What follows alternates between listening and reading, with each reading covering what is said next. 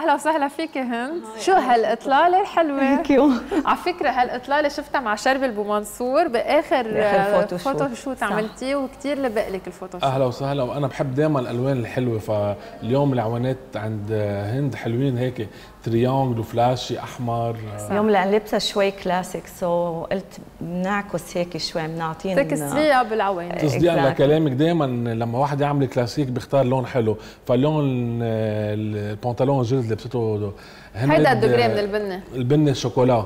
كثير. حلو. واليوم. حكينا عن الشوكولا. مزبوط هند اليوم شو جايبتي لنا معك؟ اليوم رح نحكي شوي عن البروش وعن الكفوف. وفضلتك نحكي بحلقة وحدة عن الاثنين لأنه ممكن يكونوا متصلين ببعض. فالكفوف اللي بدي أقوله إنه غير إنه صار من هلأ بجديد كثير على الموضة وكثير عم يلبسوه خاصة بالشتاء هو من زي زي يعني الرسمي لل للعائلات الملكية آه، بيعتمدوه دائما بالزي الرسمي وبالمناسبات الخاصة. يعني إذا بدنا نقول الملكة إليزابيث آه، ما بتلبس آه، ما بتظهر بمناسبة رسمية غير ما تكون لابسة الكفوف. وغير إنه دائما بنشوفها عم بتلوح بإيدها ولابسة الكف. ما بتلبسهم كثير قصار لأن ما بتحب إنها تبين إيدها. آه so إذا كمان لابسه كم طويل هي على طول لبسته حتى even يغطي آه، إيدها ما تبين. بإيدها. وهي ما بيفرق معها شيء مهم إنه لما بدها تسلم إذا اضطرت تسلم تكون لابسه كفوف مشان هي بتقول إنه ما تنتقل الجراثيم والبكتيريا عن مصافحة الناس so من تس- هيك بتفضل. إنها تضلها لابسه. وتصديقا على كلامك بالصحافة كانوا مؤخرا عم بينتقدوا ناس معها وناس ضد ميغان ماركل لأنه هي ما بتستخدم الكفوف وبتحب إنها تحتك بعامة الشعب لأنه هيدا الشيء بخليها قريبة لهم فهون صح عم تحكي وهيدا الشيء ما كان يرضيها للملكة إليزابيث يلي هي ضد الشيء الفكرة بلشت فيه الليدي ديانا من قبل صح. كان دائما تعطي. تبرر موقفها إنه بتفضل هي إنه إنه تصافح الناس عامة الشعب بلا ما تكون لابسة كفوف لأن بيصير في ود بينها وبين صح. هلا الاشخاص في عدة مدارس في عدة في مدارس بيحكوا أنت شو المدرسة أنا المدرسة؟ اللي بعرفها بالسافوار فيف إنه لما بتسلم مع حدا بتشيل تشيل ال- الكف احتراما مشان ما يحس إنه في حاجز بينك وبينه أو سمية يعني هلا هو هو. له اتيكيت خاص مزبوط. عند العائلات الملكية له اتيكيت خاص صح. يعني إذا بدنا نقول العروس العروس بيوم عرسها إذا لابسه كفوف في له بروتوكول خاص فيه. طبعاً. يعني لما بدها الرقصتين مع بيا ومع مع العريس لازم تكون لابسة الكفوف لما بيقوموا على قص الكيك أو عند الأكل لا بدها تشلح الكفوف أها. بينما عند التهنئة مع الته- مع الضيوف. إيه هيدا الشيء بيرجع لها إذا حبت تلبس الكفوف أو لا. so الكفوف لهم بروتوكول خاص أكيد. فيهم. أكيد حسب المناسبة وحسب الشخص هي مزبوط. ملكة أو عروس أو شخص عادي. هلا بعيدا بعيدا عن البروتوكول بدنا نحكي موضة. الموضة مع- هن. أول شيء استعملون الرومان بس بدي أقول آه، آه، هيدي المعلومة قديما كنوع من الرقي والزينة. أوكي. وبعدين صار مع اعتمدوه العائلات الملكية كلباس رسمي. بينما هلأ آه، صار الموضة عم نشوفهم بعدة موديلات. إن كان آه، رح أقول أول شيء في الجلد في الدانتيل في الصوف في ال- في الساتان في كتير.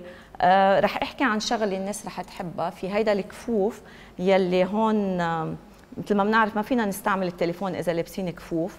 هلأ صار في شيء جديد بنقدر نستعمل التليفون ونحن لابسين الكفوف في هيدا الشيء هون آه. بنقدر نكبس فيه يعني للتليفون. شيء حديد أو شيء إيه بهيدا الأصبع يعني هون. نوع معين من ال fabric يلي هو بيقدر يزبط على الشاشة. محطوط بس على اثنين. على هيدا الفيلم على أول اثنين. أوكي. أوكي. يعني إذا واحد كان بالبرد وبده يستعمل ال- هو للبرد كرمال. البرد مزبوط. والتليفون في ما يشلح الكفوف. مزبوط. وال والكفوف يعني أنا اللي لبستهم اليوم هن ال bikers. الكفوف القصار كثير دارجين وكثير حلوين لنهار حلوين وأنا مناسبين. بعتمدهم دائما لإكسر مزبوط ال piece الكلاسيك مناسبين كثير للنهار وبيعطوا هيك. بيعطوا إيه روح هيك نفحة عصرية وروح للشباب حلو. أنا بحبهم الكفوف القصار بينما إذا كانوا آه، مسكرين مثل هول الكلاسيك العاديين فينا نكسرهم. لهيك جبت معي بروشات فينا نحط عليهم بروش. هن حاطين هون شيء بس إذا ما في عليها شيء بنقدر نحط بروش. أوكي. وبنقدر ننزع الجلد أنا هيك كفوف من فالنتينو أو بتخيل فيتون بقول حرام ننزل ن- نبخس إذا كان. قماش إيه، إذا هلا هيدا قماش، هو already عليه لوجو بس إذا ما في عليه لوجو بنقدر بكل سهوله نحط عليه بروش. صحيح. بيطلع كتير حلو. صح. وما بينتزعوا الكفوف كمان. والبروشات كمان بنقدر نستعملهم بعدة طرق. فينا نحطهم على الشعر فينا أوكي. نحطهم على الإشارب فينا نحطهم أو على الجاكيت مثل ما أنا عامل مثل ما اليوم عامل علي. أنت حاططهم انت ولا هني على الجاكيت. جامعين جامعين أكثر بس من باب. الصدفة أنا جامع موسكينو بروش وهي جامعة شانيل بروش. صحيح وكثير حلوين. والعين حلوة كمان وتقصدت حطهم حد بعض أها. وهول اثنين شانيل إيه والثاني بروش عادي so أوكي. عملت ال mix and match لي... ل... لنشوف قد إيه عن جد بيطلع حلو لما نعمل هيدا الشيء وبعد كمان بدي أقول شغلة عن البروش إنه البروش هو كان قديما بلش بالعصر البرونزي بس كان قديما مش مثل ما هلأ بنشوف البروش بقلبه الدبوس متعلق فيه أها. كان قديما البروش الدبوس منفصل عنه أوكي. لما يحطوا البروش الدبوس لحال أوكي. كانوا يستعملوه أحيانا غير للزينة إنه لتسكير قطعه ثياب مع بعضها. يعني قطعتين يشبكوهم مع بعض. مع بعض وكان البروش قديما كمان يعتبر من الهدايا الثمينة لأن كانوا صح.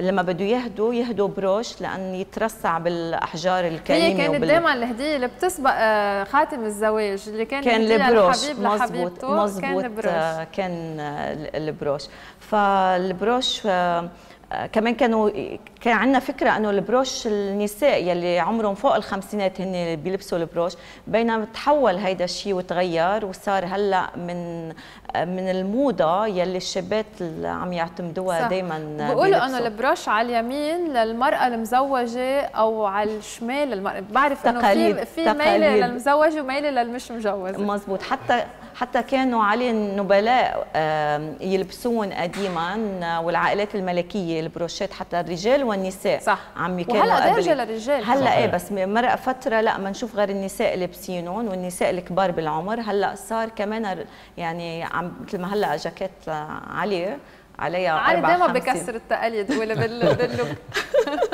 في مزبوط. مثل فرنساوي بيقول l'art c'est faire la même chose mais autrement صحيح أنا بدي استفيد من وجودك معنا هند لأسألك إنه بعرف إنه بالكفوف في كفوف طويلة في كفوف قصيرة في كفوف متوسطة. في لهم مناسبات معينة؟ صحيح. مثلا عندي هيدا معي هيدا الكفوف هلأ.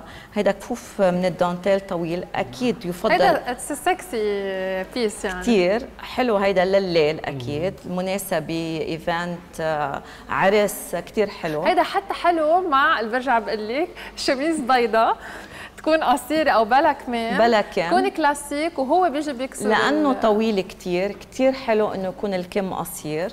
آه وكل ما قصر الكم كل ما صار الكفوف الطويل كثير حلو عليه.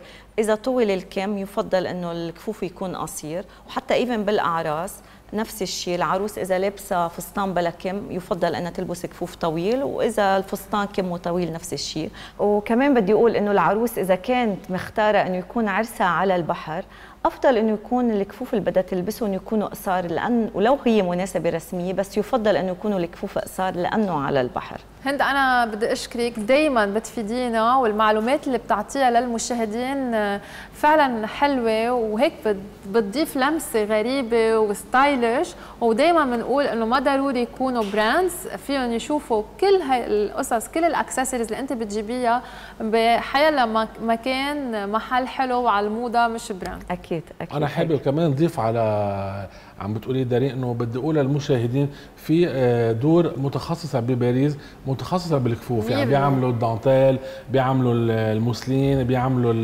وفيك تذكر لنا. أسماء كمان آه، أكيد أنا ما في براسي بس أنا بتذكر إنه في دور متخصصة بس بيعملوا آه، كفوف بما إنه ذكرت هيك بس بدي أقول إنه الملكة إليزابيث في عندها دار خاص بيهتم بكفوفها بما إنه. هي يع- يعتبر الكفوف عندها من الزي الأيقوني so في دار كورنيليا جيمس هن اللي بيهتموا بكفوف الملكة إليزابيث من 70 سنة لليوم. فهلا بدنا نروح لما نسافر تاني سفره أنا وياك بدنا نجيب من عندهم جوز أكيد. وما ينسوا يعملوا follow لهند زيدان. أكيد. على ال page آه، الفيسبوك وعلى الإنستا ويكتروا اللايكات صحيح. نحن بدنا نقول لك باي وإلى اللقاء نهار الأحد الساعة 5 دائما مع هند.